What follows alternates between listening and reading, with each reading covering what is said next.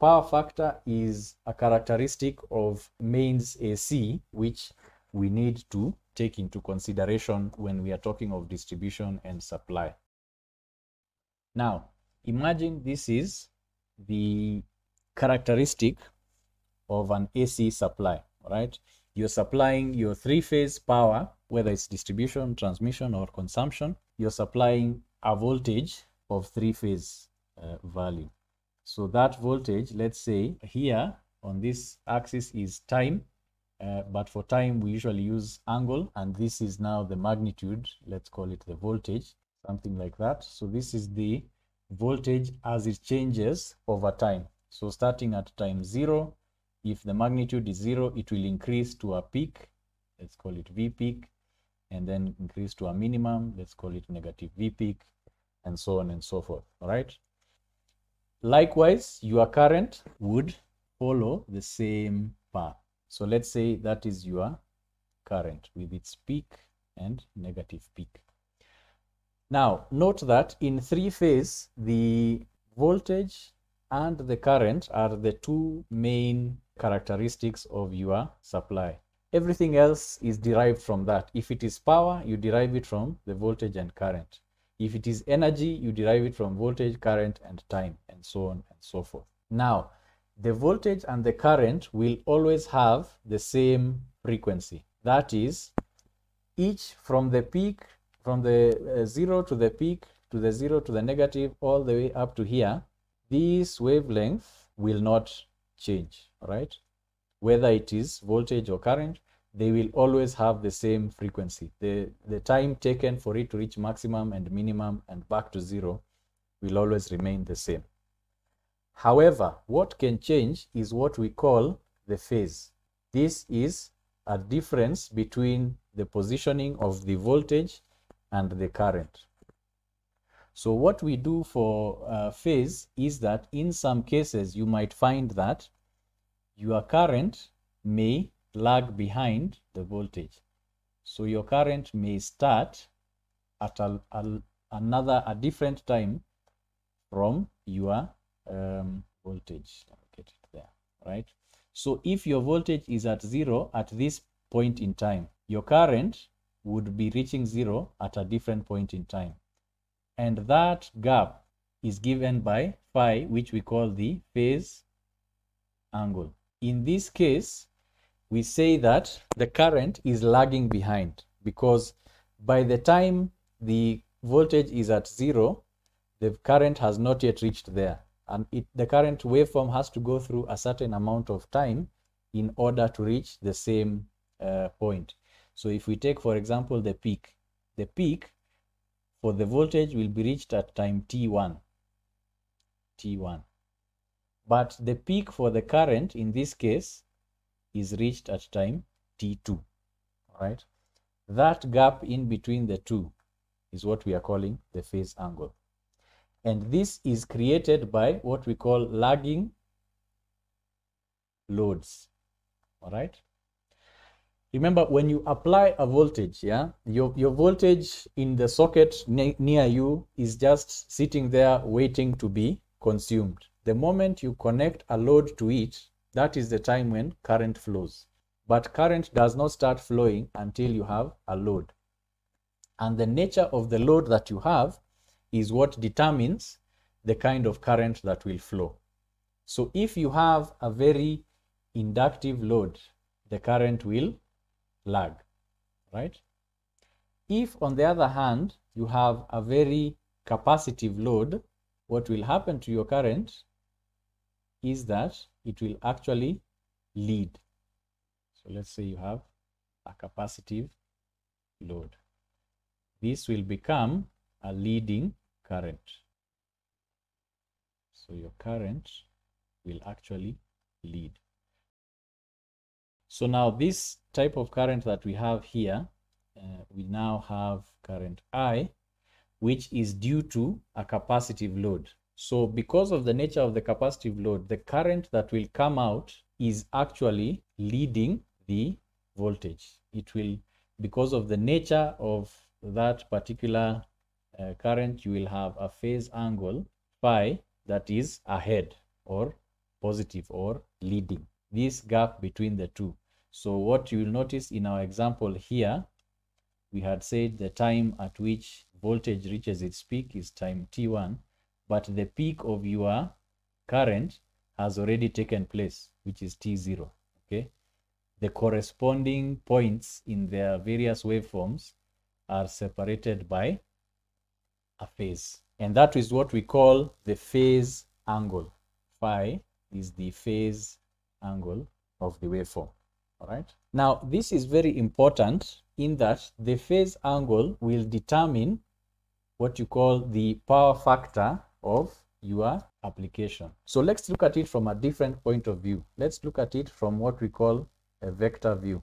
Vector is now whereby you look at the average magnitude of your various values as represented by the waveform here and you look at the phase angle between them. So actually in electrical engineering we call them phasors this is a way of representing which you must have seen in uh, circuit theory you represent various uh, quantities so if we take our voltage to be a phasor or a vector with that magnitude and that direction in the case of an inductive circuit, the current will lag behind by an angle phi. Okay, this is your current. In the case of in the case of a capacitive circuit, it will lead by another angle phi. Let's call it phi two. This is phi one. Now, all this is to say that there are different uh, angles between each of the uh, characteristics. And likewise, the voltage and the current, the same way that they have phase differences and phase angles, you will also find that power in the same way also has phase differences and phase angles. Now, this is where we now introduce another concept. The reason why we have uh, the inductive and the capacitive loads changing the, the characteristic of the current is that each load has a real component and a reactive component, all right? So the real components are purely resistances and the reactive components are capacitors and inductors. The way in which these elements interact within a circuit is such that they have either a real component or a reactive component. The difference between the two is that real power or real energy has the capability of actually doing work. So what we consider as energy, what we consider as real power is the real uh, components. So if you take a look at, for example, a heating element, all right? A heating element is essentially a resistive wire that because of the flow of current, it converts that electricity into heat. It does the actual work that it is doing, the actual energy that is converted is due to the resistance. And this is another of those key concepts that uh, I'd like you to take away from this lecture or from this unit is the difference between real and reactive components. Real components will always be the actual energy that can be converted into another useful form. So if it is electricity, it can be converted into heat, light, uh, mechanical energy in the form of motors. The real power is the power that will actually do work. But the reactive power, which is found from capacitors and inductors, is still part of it. It's still part of the energy that is, or the power that is being transmitted. Okay? It is a vital component of electricity, but it cannot be converted into real work. It cannot do work, right? It cannot run a motor, it cannot heat a circuit, okay? Now, the way in which we represent these two is that if you have a real component, it is usually represented along that axis. And if you have a reactive component, it is usually represented along that axis, whereby these are the complex axes. And the components themselves will be added to each other like complex numbers, right? So if your resistance is, uh, say, 10 ohms here, and your reactive, we call it reactive impedance, is 5 ohms here, the resultant of the two, when they are added together, the resultant will be 10 ohms plus J 5 ohms, right? Your real components are here, your reactive components are there. Now what happens is, if you look at this diagram, it is similar to these diagrams that are here, okay? Where you have a baseline, which is taken as zero degrees, baseline is there, and you have an angle phi, which is the angle from zero that your component is different, right? So now in this particular case, you would have your three types of elements. You have your real, your reactive, and this one here is called apparent. These types of configurations are available or are present in all characteristics or phenomena within electricity. They are present in voltage, they are present in current, they are present in impedance. Impedance is resistance and capacitance and inductance. And they are also present in power. So this is where now it brings us back to the distribution system. In the case of power, you will have real power, which is there. You have an inductive power, which is reactive. And the combination of the two will be your apparent power. So these are three different types of power and they are represented. Real power is usually apparent is by S, real power is by P, uh, and reactive is represented by Q. And your phase angle phi is still present in all of those. Now, let's look at the, the power in regards to distribution.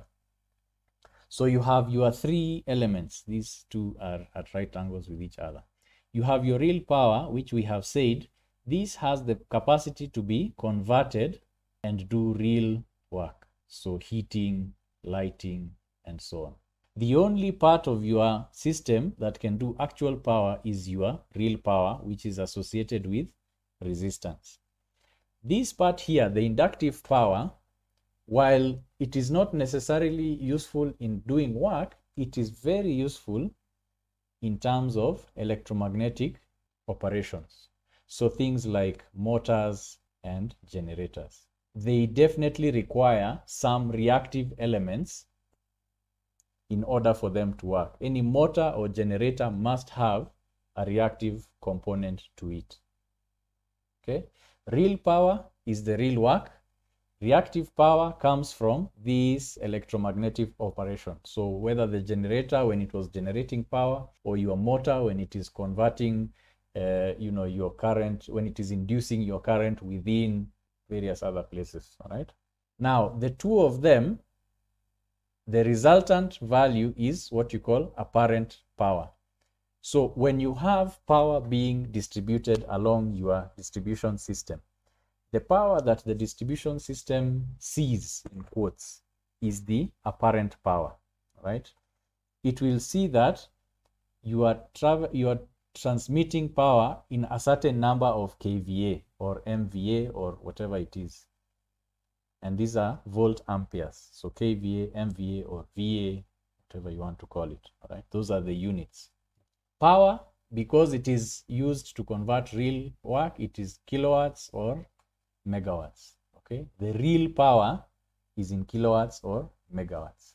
And this q which we won't go into so much is called kvar reactive or mva reactive right those are the three components within a distribution system or any AC system, okay, that has various loads.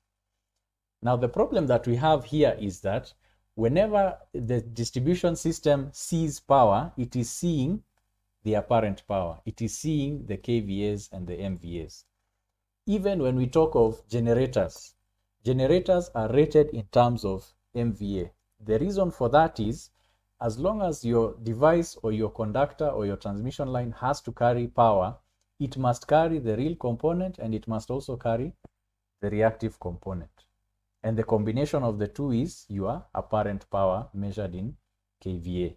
So because that is the case, your, your system from start to finish, from generation to consumption, must be able to carry the apparent power and it must be designed to be big enough to do that.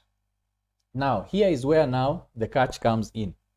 If you can design your system in such a way or you can design your loads in such a way that you can have your system carrying the minimum possible apparent power, you will be at an advantage because what you really want is your real power. This other stuff, the, the reactive components are only internal to your power system. Your consumer doesn't need it, okay? They only need their real work. They want their heating, they want their lighting, they want their TVs and so on. They don't need this stuff that is internal to the system. So if there was a way we could reduce it, we would be able to be at an advantage. Now note that apparent power here is on the hypotenuse. This is a right angle triangle. So apparent power is the biggest of the two. S squared is equal to P squared plus Q squared because they are on a right angle, right?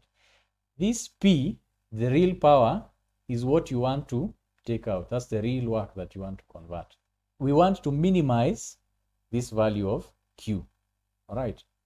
So how do we, you know, put it in a way that it is easy to understand how well we are achieving that? We bring in our phase angle phi. Now from your, your right angle triangle, let's uh, redraw it down here.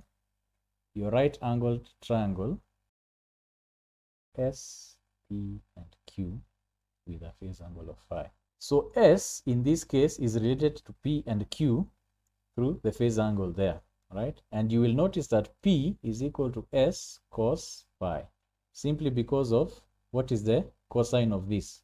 So The cosine is P or uh, P over S, okay? The relationship between the two adjacent over hypotenuse. So that means that we can be able to tell how well we are doing by how closely the S and the P are with each other. If we can minimize the value of Q, it will be such that P will be very, very close to S.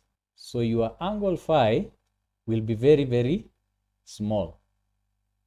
This is S, this is P. Yeah, your real power, what you want, is taking up as much as possible of your apparent power. So you want phi to be as small as possible. Okay. And remember cos phi for a very small angle tends to what?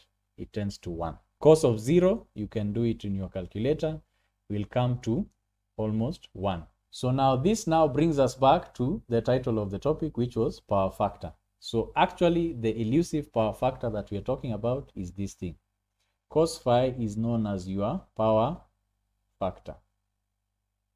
And all power generating and power distributing companies, especially the power distributing companies, will always want their power factor to be as near as possible to 1 or unity, what we call unity. And we will, there are various methods that are used in order for us to bring this down as low as possible. And there are factors that are taken into consideration. And just to illustrate that, we'll do a, a quick example. So let's say your alternator uh, is supplying a load of 300 kilowatts and it is at a power factor of 0.6 lagging. Remember what we talked of lagging and leading. How many more kilowatts can the alternator supply if the power factor is increased to 1 or unity? Okay, so the question is right now we have a certain alternator that is supplying a 300 kilowatt load.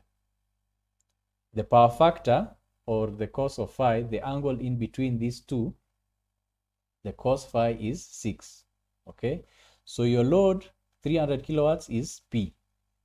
The power factor cos phi is 0.6. This is 300 kilowatt. If we were to increase this to 1, yeah, for the same value of S, how much power could we get? So what is the value of S? So we've said P is equal to S cos phi.